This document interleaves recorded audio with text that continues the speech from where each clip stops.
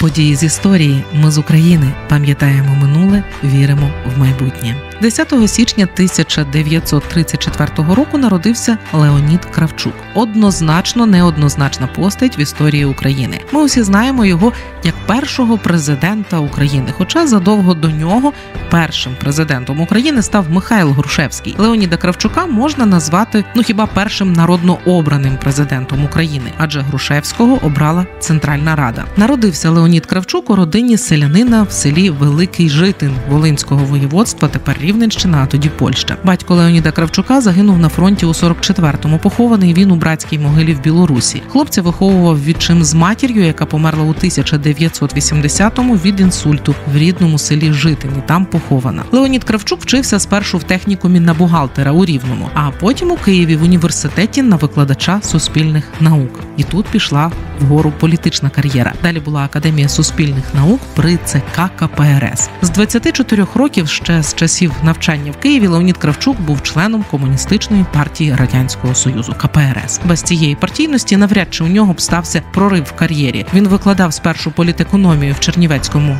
фінансовому технікумі, а потім став консультантом, методистом будинку політпросвіти, лектором, помічником секретаря, завідувачем відділу пропаганди і агітації Чернівецького обласного комітету комуністичної партії. По агітаційній та пропагандистській лінії рухався Кравчук і далі. Після навчання в Москві у академії суспільних наук при ЦК КПРС він уже очолив сектор перепідготовки кадрів відділу організаційно-партійної роботи вже центрального комітету КПУ.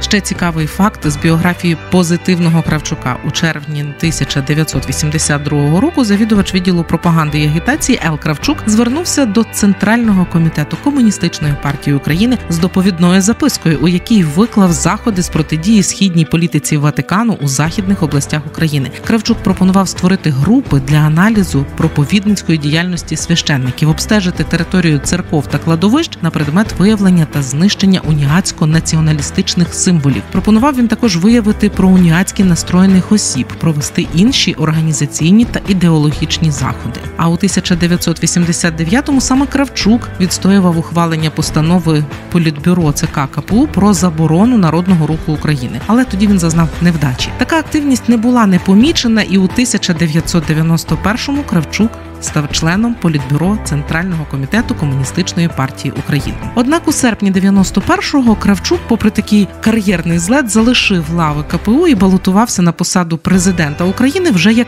безпартійний. Попри це, його підтримали як активісти забороненої на той час компартії. Їхній висуванець Олександр Ткаченко зняв свою кандидатуру тоді на користь Кравчука. Так його підтримала і частина націонал-демократів, які говорили про Кравчука як про батька незалежності. Такою агітацією на два фронти із двох фронтів Кравчук переміг уже в першому турі, отримавши понад 60% голосів. Основним опонентом від демократичних сил у Кравчука був тоді В'ячеслав Чорновіл, і Він зібрав лише 23,2% голосів. Ну у нього ж не було підтримки комуністів. Зрештою, президентом України Леонід Кравчук був лише 32 місяці з 5 грудня 91 по 19 липня 94 року. Але цього часу виявилося достатньо не лише для того, аби документально припинити існування СРСР, а й для того, щоб позбавити Україну флоту і ядерного статусу. Отже, 7 травня 92 року, вже будучи президентом України, Леонід Кравчук відіслав у США лист, в якому значилося, Україна забезпечить знищення всієї ядерної зброї, включаючи стратегічну наступальну зброю, розміщену на її території. 24 жовтня 91 року Верховна Рада проголосила без'ядерний статус України. А вже навесні 92-го з України повністю вивезли в Росію тактичну ядерну зброю. Зазначу, що у момент отримання незалежності, ще коли Кравчук був головою Верховної Ради, без'ядерний статус Україна обіцяла, але не узаконила. І от роззброєння насправді це палка з двома кінцями. На нашій території був третій за потужністю ядерний арсенал у світі. Але ця зброя все ж вона не була до кінця українською, керували нею з Росії. Українською вона була лише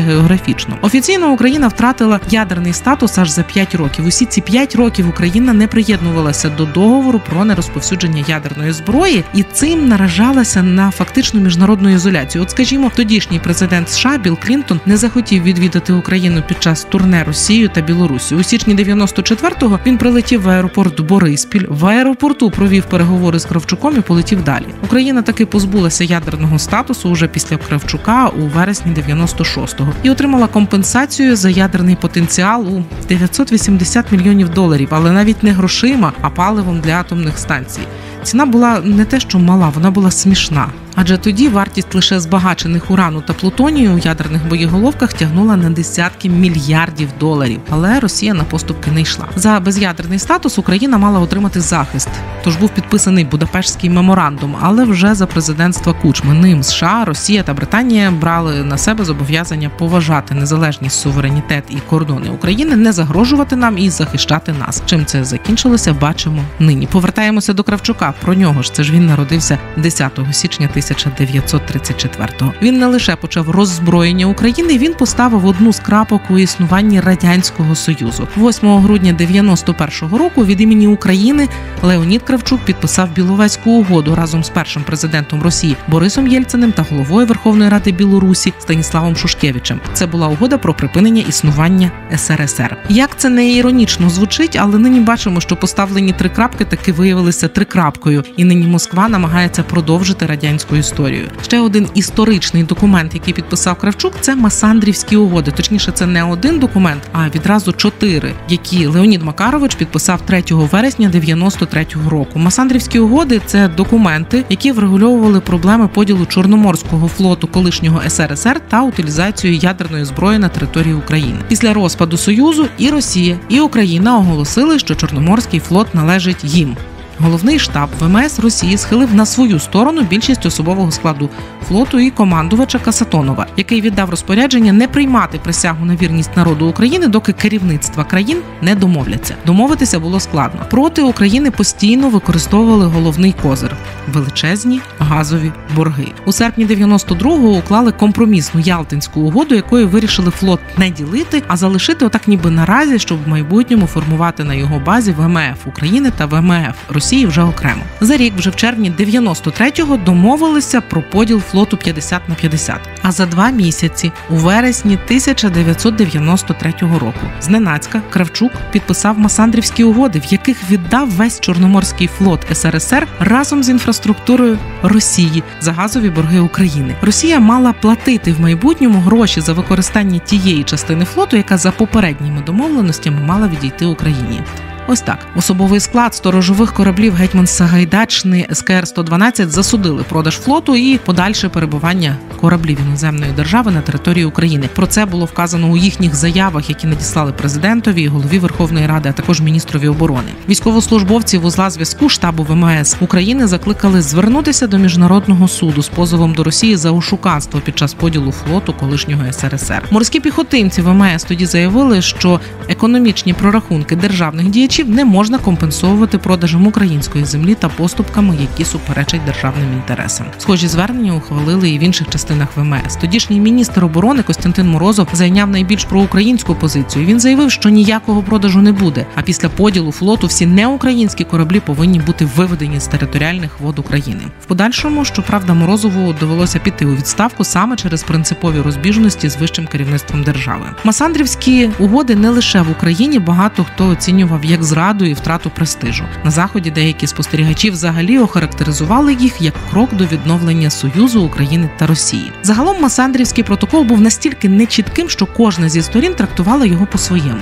Це був початок кінця Кравчука. Він втратив підтримку патріотів, військових та кримчан. Того ж літа почалися ще й масові страйки шахтарів на Донбасі. Їхні акції стали наймасовішими протестами в Україні аж до помаранчевої революції 2004 року. Шахтарі, попри економічну кризу, висунули, як це не дивно, насамперед політичні вимоги. Серед основних було відновлення відносин з Росією, надання Донбасу широкої автономії та відправка президента Кравчука у відставку. Хто саме стояв за тими страйками, можемо лише здогадуватися, як то кажуть, свічку не тримали, доказів немає. Проте під тиском шахтарів за прем'єра Леоніда Кучми першим віцепрем'єром став Юхим Звягільський, якого називали старійшиною так званого донецького клану. У вересні 93-го року планували референдум щодо довіри президентові та Верховній Раді, але потім його скасували. Натомість ухвалили рішення про дострокові вибори до Верховної Ради та вибори президента. Наступні позачергові президентські вибори у 94-му році переміг вже Леонід Кучма. З одного боку, 32 місяці президентства Леоніда Кравчука це економічна та політична криза, втрата чорноморського флоту та ядерної зброї. А з іншого, під час президентства Кравчука було запроваджено національний герб, прапор та гімн України. Прийнято перші чотири сотні законодавчих актів, сформовано збройні сили України та підписано Біловезьку угоду про припинення існування СРСР. А ще було підписано Гельсінський акт про інтеграцію України в Європу. Незалежність України тоді визнала 171 країна. У пам'яті українців Кравчук залишиться ще й назвою такого возика для продуктів сумка на колесах. Саме Кравчучка, так її називали, була невід'ємним атрибутом того часу, коли купували багато, бо потім не буде. Уже після президентства Кравчук вступив до СДПУ Соціал-демократична партія України об'єднана і привів їх до Верховної Ради. У СДПУ тоді спільно були і Віктор Медведчук, і Нестор Шуфрич, і Петро Порошенко. Порошенко у 2000-му пішов створювати партію регіонів і став її співголовою. А вже за рік створив власну партію Солідарність, яка згодом стала блоком Порошенка. Повертаємося до Кравчука. Щодо Кравчука, то у 2006 році він очолив список опозиційного блоку не так разом з Віктором Медведчуком, Юрієм Бойком та Нестором Шуфричем. У парламент вони не пройшли у 2009-му Кравчук вийшов з партії СДПУ. Він, до речі, був тим, хто не підтримував категоричну помаранчеву революцію. І за це 25 листопада 2004-го рішенням вченої ради його позбавили звання почесного доктора Києво-Могилянської академії. Причиною назвали негромадянську позицію під час помаранчевої революції. У лютому 2009-го Кравчук закликав президента Ющенка подати у відставку. Помер Леонід Кравчук 10 травня 2022 року в Мюнхені у віці 88 років після тривалої хвороби. Всього на тиждень він пережив іншого підписанта Біловаських угод Станіслава Шушкевича. Ми з України важливо знати історію і розповідати історії. Найважливіше, що ми повинні дати нашим дітям, це коріння і крила.